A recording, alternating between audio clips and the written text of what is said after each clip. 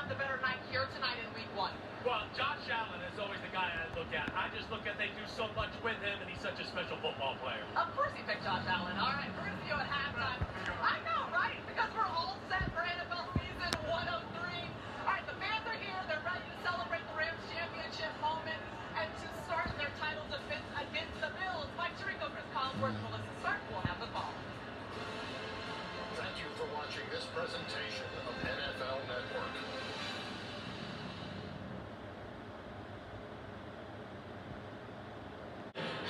language audio provided by Telemundo Deportes. Or watch tonight's game in Spanish on Universo.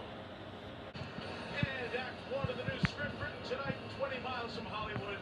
The stars are out at SoFi Stadium, where the Rams won the title in February. And now celebrate that championship moment at the mic, one of the stars of that team, retired offensive tackle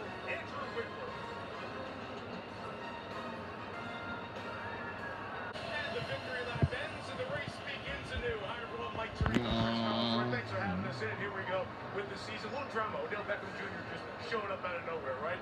Boy, Chris, 17 years since anyone's repeated its champs. It's the longest run in NFL history. Can the Rams do it? Of course. They've got a terrific team.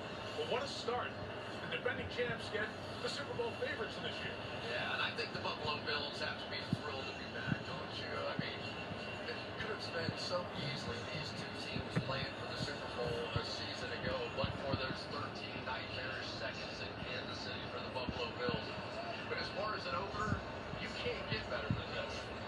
of last season couldn't get any better than that. The playoff games were great.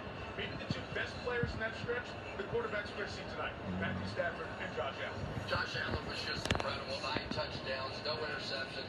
May have been even better running the football if that's possible.